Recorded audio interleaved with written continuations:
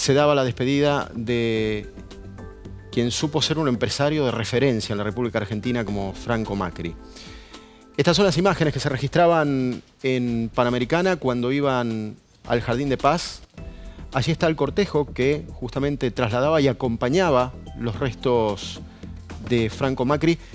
Fallecido el sábado por la noche, a los 88 años, no solo habló el presidente, sino que además algunos contemporáneos y empresarios importantes, por ejemplo, Cristiano Ratazzi, Julio César Chiribelli, también dejaron algunas palabras.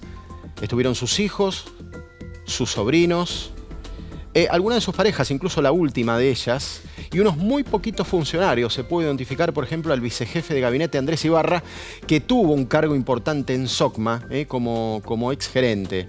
Eh, un presidente Macri que estaba en San Martín de los Andes, que volvió contrarreloj.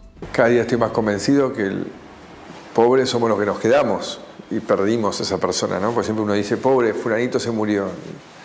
Y él se fue, él se fue.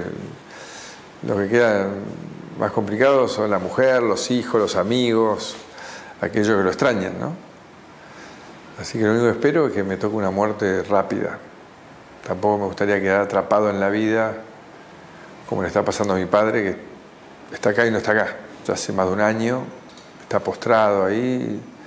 Y si tiene algún momento de lucidez, la de pasar muy mal, porque ahí se toma conciencia de, de, su incapacidad de, hacer y su pérdida de vitalidad. ¿no? Lo último trato consciente que tengo me pidió que le dé una pastillita para sacarlo de acá.